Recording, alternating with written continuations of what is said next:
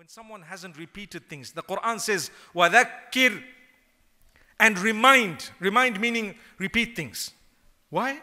فإن الذكرى تنفع المؤمنين For indeed the reminding, the constant reminder benefits those who truly believe. If you truly believe, you don't get irritated that this man's repeating this for the fourth time. But you feel within your heart, I think it must be so important. That's why he's saying it again.